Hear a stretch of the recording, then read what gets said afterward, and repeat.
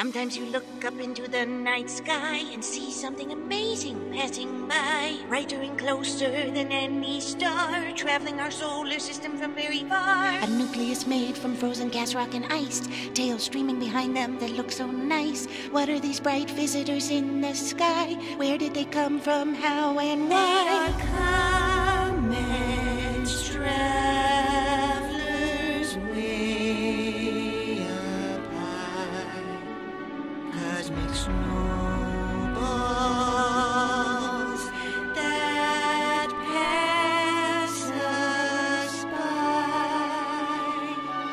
The green comet C2022E3. The sun-heated carbon gases I release making my head glow green. I also have not one or two but three visible tails. A main dust tail, blue ion tail, and one anti-tail. My anti-tail is a spike pointing towards the sun, not away from it. It's large particles from my dust trail lagging behind because I'm so quick. I visited it in 2023 but won't be back soon, I fear. I'm might return in a million years. I'm Comet Holmes, a periodic comet. I orbit the sun every seven years and keep coming back with an inclined elliptical orbit between Jupiter and Mars. I'm a Jupiter family comet. I'm not very far. In 2007, I put on an exciting show to see. An outburst increased my brightness and my coma swelled drastically. Just a bright ball in your sky because you were looking at my face. I'll be back again to visit in January 2028. Comet IRAS-Araki-Alcock. When I was discovered in 1983, I gave astronomers a shock. I didn't have a tail. Where did it go? I just looked like a fuzzy globular cluster that glowed. I was about the size of a full moon in your night sky. My tail was so dim it couldn't be seen when I passed by. I'm a long period comet. I won't be back soon. It'll take over 900 years for me to return.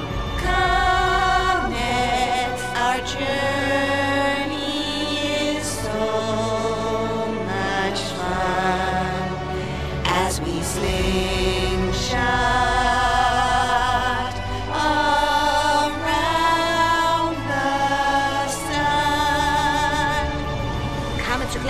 by their orbit's duration. Short periodic comets take less than 200 years to orbit the sun. Comets between Mars and Jupiter with orbits less than 20 years are called Jupiter family comets. They live very near. Long period comets take over 200 years to orbit. Some of them will take thousands of years between each visit. Some comets journey for hundreds of thousands of years. These non periodic comets pass by then disappear. Comets,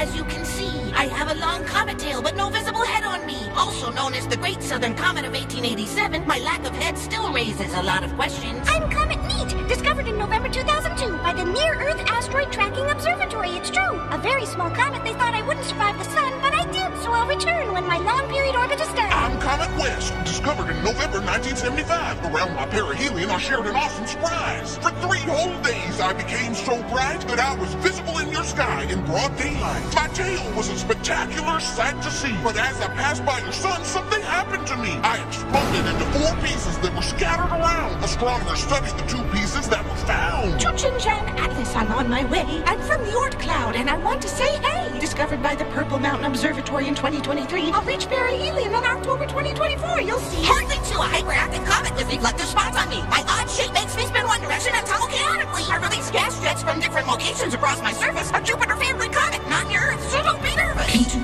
P2006 VW139. If you want to hear an interesting comet story, it's mine. I'm a binary comet. I have two heads that orbit each other. We have a very wide orbit around one another. I'm in the asteroid belt and classified as a binary asteroid too. The first binary object that's both asteroid and comet. Cool. Discovered in 2006 by the Pan-STARRS 1 telescope. My orbit takes about five years, so I'll keep coming back.